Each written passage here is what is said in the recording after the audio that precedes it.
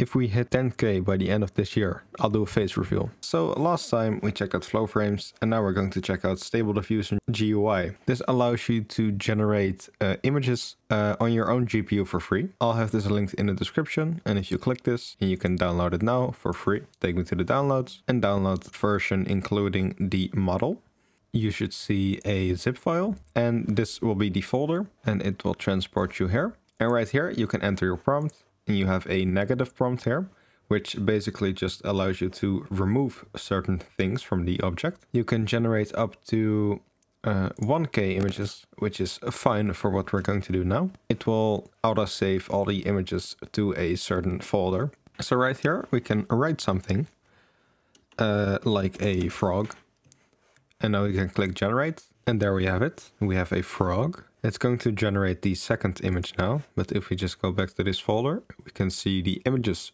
folder appeared. We can double click and go to frog.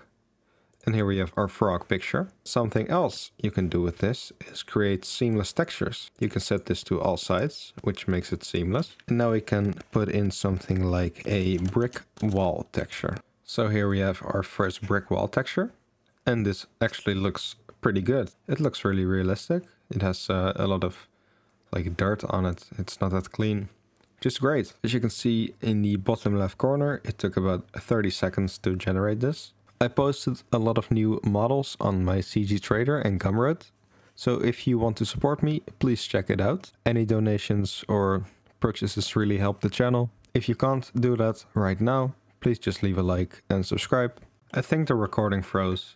Um, anyway, uh, so we're in Blender and we can just select our default cube and delete it, of course. We don't need it. We need a new cube.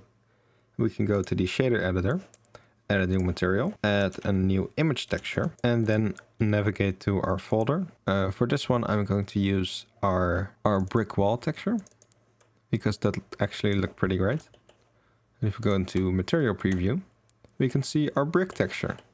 We can add a mapping node, we can change the mapping to make it uh, bigger or smaller. Something like this works, like 4.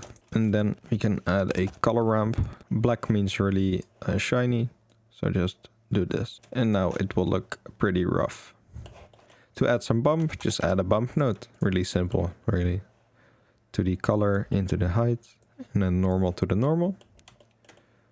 Uh, this looks pretty bad, so we change the strength down a little bit. And now it looks shiny, so we make it a little rougher. And that's our brick texture. We can, uh, of course, just bake the roughness texture and the bump texture into different textures. Uh, but if you're using this in Blender, I would just suggest keeping it like this. If you're going to like export this, uh, you're probably best off to just make some new textures. That's really amazing. Let's look at a different texture we made. Let's use a texture I already made, like the asphalt texture. And yeah, that's uh, basically everything you need to know.